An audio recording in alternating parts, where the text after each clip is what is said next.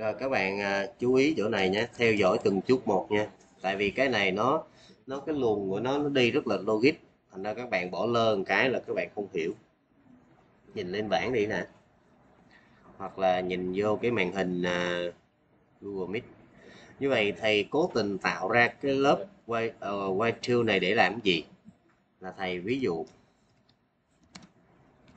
một cái uh, phương thức là rin chẳng hạn à, thầy muốn đặt cái gì thật thầy đặt tên là rin thì thầy trong này thầy sẽ dùng vòng lặp quay trừ quay trừ là quay gì ta? Mình đang muốn gì? Khi mà nó còn bốn triệu có nghĩa là thầy đang muốn gì? Lặp. Vô hạn. Lặp vô hạn. Tức là lặp hoài luôn. Rồi ok thì trong vòng lặp này thầy làm gì? Thầy sẽ khai báo một biến y bằng không. Và ở bên trong thầy sẽ dùng một cái lệnh là xuất xuất cái y này ra. Đó. như vậy viết vậy, có ai gặp khó khăn gì không? Y cộng cộng, hết. Được không? Vậy thầy đang muốn gì? Xuất y từ 1 cho đến vô hạn. Ok. Thì bao giờ nó dừng? Rồi. Thầy sẽ viết một cái class mới. Class này là class test. Test. Test là test về tiểu trình. Thầy tạo trước luôn, để tí nữa mình xài luôn. Rồi bên này thầy sẽ tạo một cái hàm main và chúng ta sẽ khai báo một cái biến y true một cái biến y true thầy để là wt đi ha. Wt1 bằng new.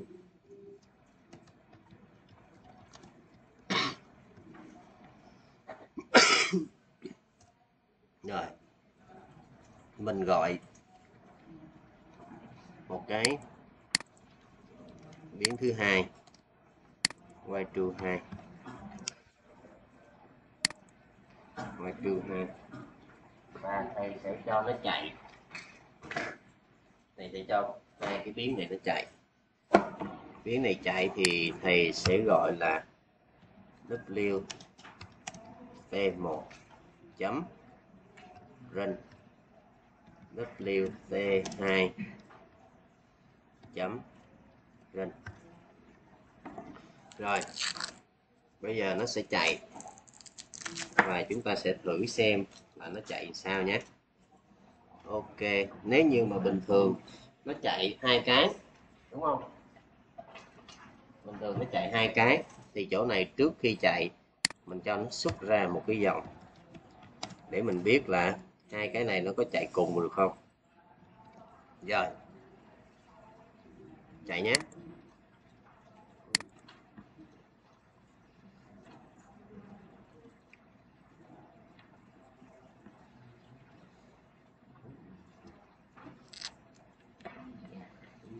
Đến bao giờ nó dừng được không? Hả? Dừng không?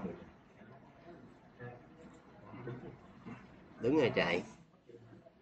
Rồi ok chúng ta stop lại nhé. Rồi chúng ta stop lại. Bây giờ chúng ta nhìn thử nè. Cái dòng này nè có được xuất ra không? Đó, cái dòng nó được xuất ra không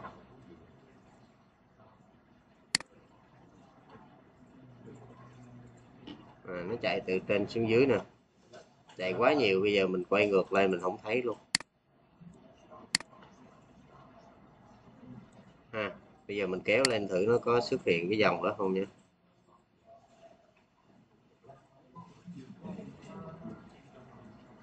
Rồi, không hề xuất hiện. Có nghĩa là gì? Có nghĩa là gì mấy em? Có nghĩa rằng WT1 chạy nhưng mà WT2 nó phải chờ. WT1 chạy xong, nó mới chạy. Vậy khi nào xong? Đến khi hư máy thì thôi, đúng không? Đấy, như vậy thì nếu như mà các bạn muốn xử lý và muốn chạy chương trình của mình, hai user cùng đăng nhập và cùng làm việc, vậy thì có được không? Hai user cùng đăng nhập cùng làm việc một lúc được không? Nếu như muốn được thì chúng ta phải làm gì? Đó. Thì nếu như mà muốn được thì chúng ta sẽ viết thêm một cái class mới. Bạn sẽ viết cho thầy một cái class là my thread à, my thread và trong cái my thread này các bạn sẽ kế thừa lại cho thầy cái class là thread à, ha. Các bạn kế thừa lại cái class là thread và trong cái class thread này các bạn viết lại ghi đề lại ghi đề lại cái phương thức run. Ghi đề lại cái phương thức run giúp thầy như vậy chỗ này các bạn sẽ chèn vào cái phương thức rinh. Các bạn có thể insert code override methods và các bạn override lại cái phương thức rinh giúp cho thầy. Rồi cái phương thức rinh này thì người ta gọi cái rinh của cha. Còn mình thì mình không gọi rinh của cha mà mình tự viết lại cái rinh của mình. À, cái rinh của mình thì trong slide người ta đã viết giúp các bạn rồi. Bây giờ mình chỉ viết lại thôi. Vậy thì trong cái đoạn code này có gì lạ không? Có gì lạ không mấy em? Lạ sao? Người ta đang viết gì vậy? Trong cái này người ta đang viết gì vậy? Vòng lặp sao vậy? Hả? Mình đang viết đến đây mình đã override xong. Và người ta đang viết cái gì vậy? For y chạy từ 1 đến giới hạn trên. Khi nào đúng thì còn làm, sai thì thoát. Và người ta for true có nghĩa là gì? À nó giống hồi nãy không? Giống hồi nãy là why? Why true? Thì cái này nó gọn hơn là người ta khai báo y ở đây và người ta dùng y cộng cộng ở đây ngay trên vòng for thôi. Còn hồi nãy y của mình thì mình khai báo y. Hồi nãy ở đây mình khai báo y trước, rồi sau đó mình vô đây mình y cộng cộng. Giống nhau ha. Như vậy thì chỗ này chúng ta sẽ viết lại với rin thì chúng ta sẽ dùng vòng for int y bằng 0 chấm phẩy 2y cộng cộng. Đây là một vòng lặp vô hạn. Mình sẽ tạo ra một vòng lặp vô hạn.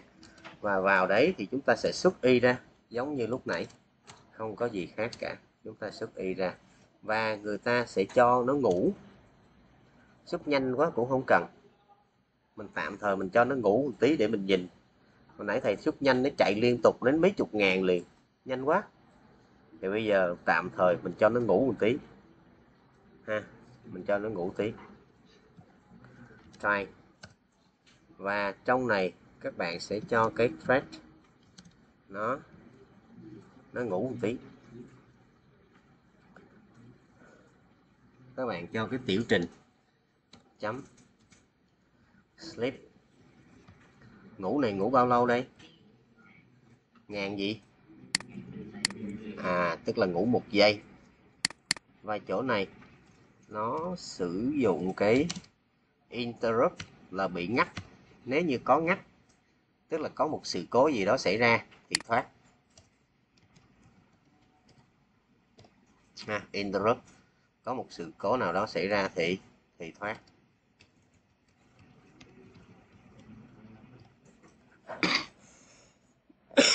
Đó là đoạn code của chúng ta viết về vòng lặp vô hạn. Rồi bây giờ ở bên cái chương trình mà test của mình nè thầy làm lại việc này nhé.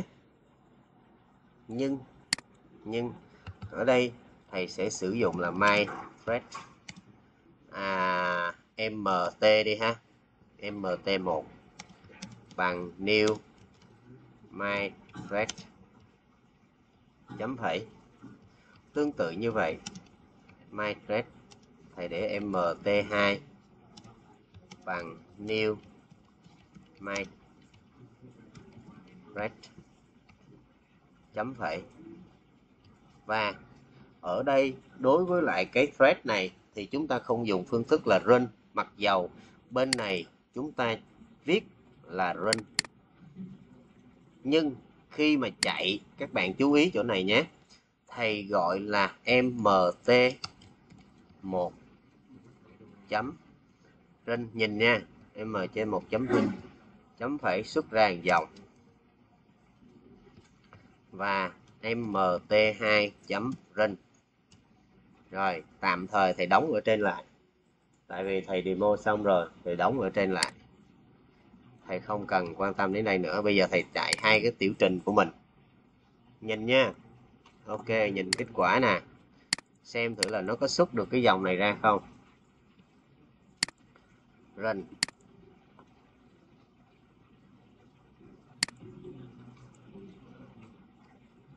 Như vậy mình gọi hai tiểu trình cùng lúc.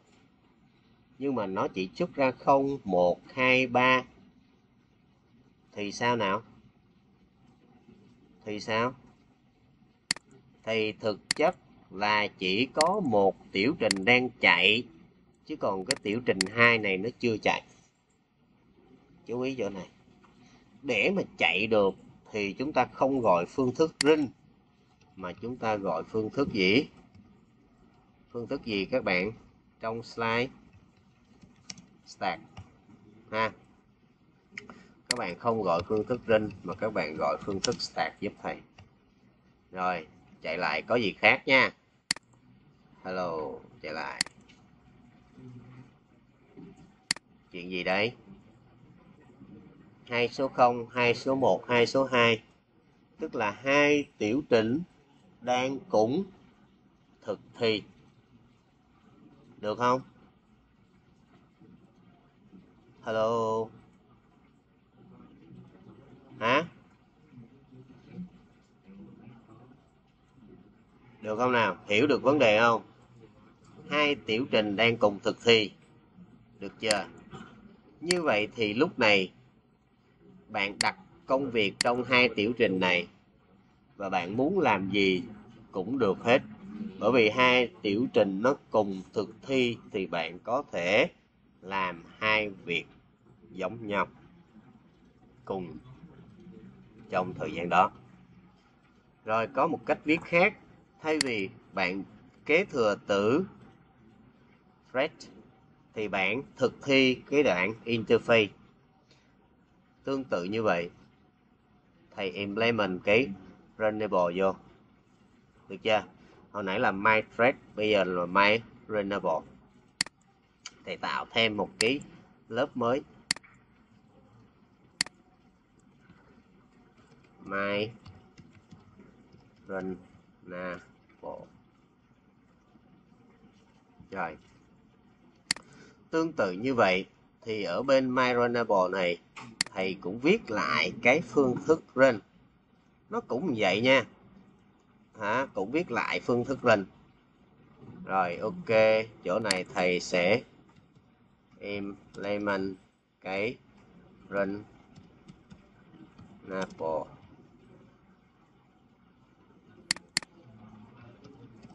bị à, lỗi tiếng Việt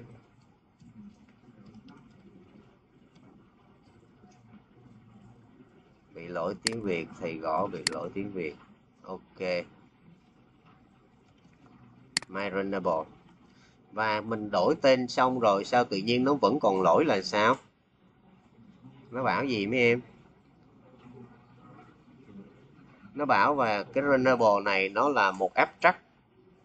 Mà nếu mà bạn đưa vào một abstract,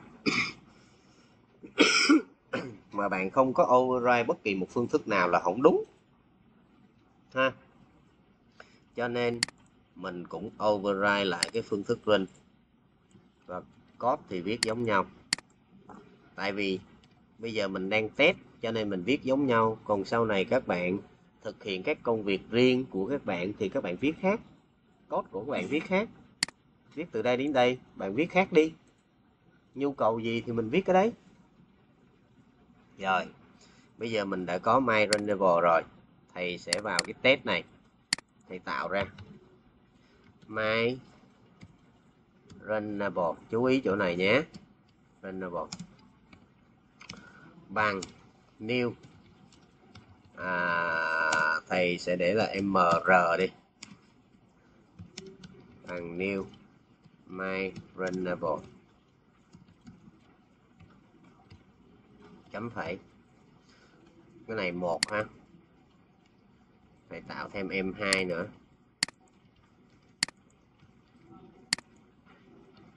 Rồi, bây giờ xuống đây. Thì để mr một chấm start không có. Không có. Không có phương thức sạc nếu như bạn chạy phương thức lên, thì giống y chang như hồi nãy mình viết, nó không có gì đặc biệt cả. Nếu bạn chạy phương thức lên thì sao? Thì em một làm xong rồi mới đến em 2 nếu như bạn chạy phương thức rinh, thì chỗ này mr2 chấm rinh. Chạy.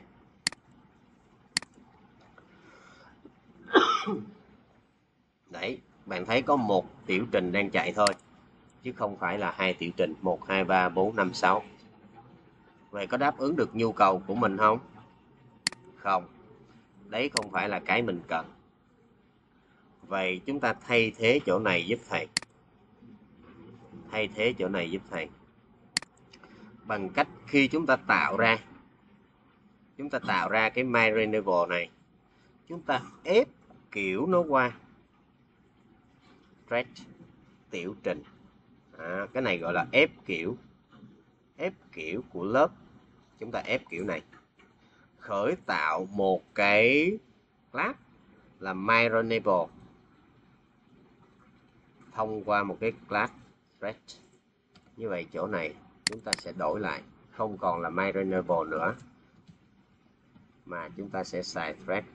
Và chỗ này tất nhiên chúng ta sẽ phải đổi lại bằng new new thread. Ha, và tương tự các bạn tạo cái biến thứ hai. Biến thứ hai.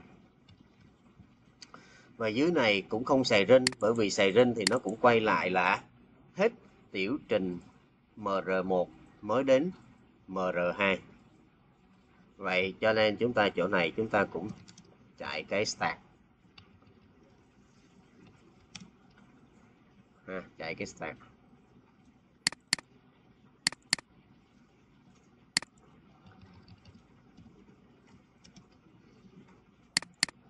Rồi, nhìn nha. Hai tiểu trình.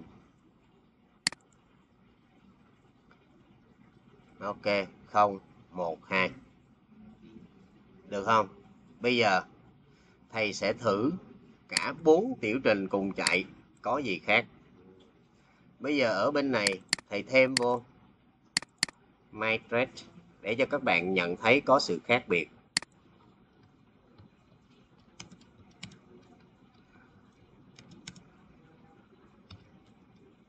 Rồi my để các bạn nhận thấy sự khác biệt. Rồi, ở bên này, thầy cũng cộng thêm vô, là thầy để là my renewable. Có sự khác biệt nha. Bây giờ thầy chạy lại.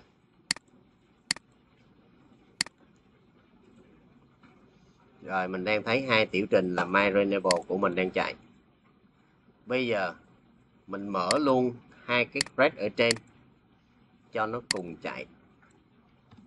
Như vậy có bốn tiểu trình đang được thực thi trong cái đoạn code của thầy. Vậy mình xem thử là nó sẽ được thực thi như thế nào.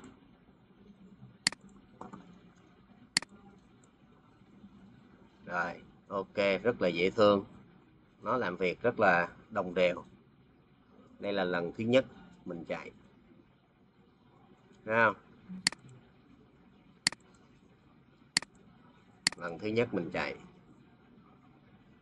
Không không, hai tiểu trình. Thread chạy trước. Hai cái runnable chạy sau và cứ thế nó nối tiếp nhau. Rồi, chạy lại.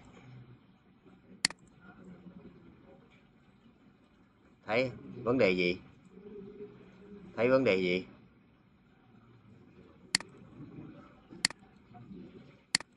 Vấn đề gì đây? Cái tiểu trình matrix là mình tạo trước nhưng mà nó được thực thi sau. Còn cái MyRenable này nó được tạo sau mà nó lại được thực thi trước. À, nó xen kẽ. Đây nó xen kẽ nè.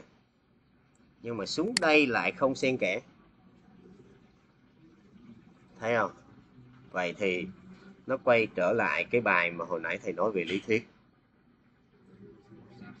Các tiểu trình sẽ được CPU chọn và phục vụ.